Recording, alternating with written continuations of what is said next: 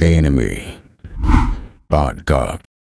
Welcome back to the channel, all of my favorite anime dweebs. Today we got some real sad, unfortunate news. But before we get on to that, make sure you hit that like button, subscribe, and don't forget that bell too so you never skip a beat on anime content coming straight to you. To kick right off into this video, some of you may have heard about the really bad news. Zom 100, one of the most soaring in popularity animes coming out in the recent months, has just officially announced it is going on an indefinite hiatus. Now, if you guys don't really understand what that means, that means some situations going down behind the studios, and they are no longer producing anime or animation for Zom 100. This is a really big situation coming out, guys. Let's deep dive into it.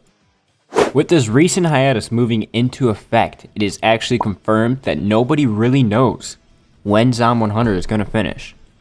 There's three episodes yet to finish out the season, and nobody's going to broadcast them. No one's going to stream them. Nobody has any clue what's really going on behind the scenes right now.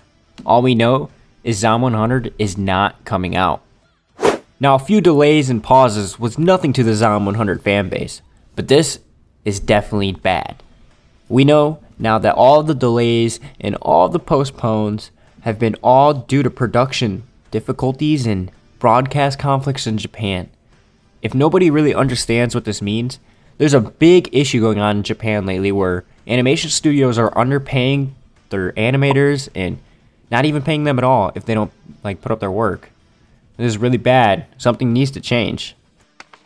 Now, being that said, I'm not exactly pinning all of this on Bug Films. They haven't really officially released the reason behind the hiatus, but honestly, if it's between me and you guys, this is what I believe is going on.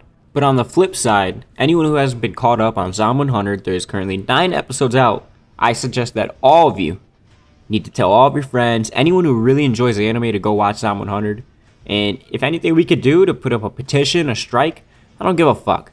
We need Zom 100. Everyone loves this anime.